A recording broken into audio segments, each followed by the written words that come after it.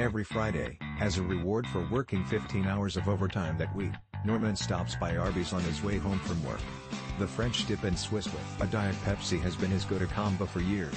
He can't imagine there being anything better on the menu, that perfectly proportioned roast beef sandwich dipped in that broth is just perfect after all. But after reading an article outlining the positive benefits accompanying a change of routine, Norman decided to switch up his usual order. Today he decided to try the buffalo chicken sandwich with a regular Pepsi.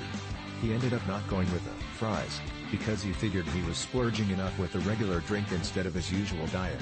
Most people wouldn't have an issue with Arby's standard buffalo sauce, but after sitting in his booth and beginning his meal, Norman found himself wishing he'd gotten something a little less spicy. Hugh was only three bites in before he had to go get some napkins and wipe all the excess sauce off of his sandwich. That helped quite a bit and Norman was able to stomach his chicken, but resolved himself to just stick with his French dip from here on out. But he might be open to try an order of mozzarella sticks in the future, or maybe a shay. The possibilities are endless.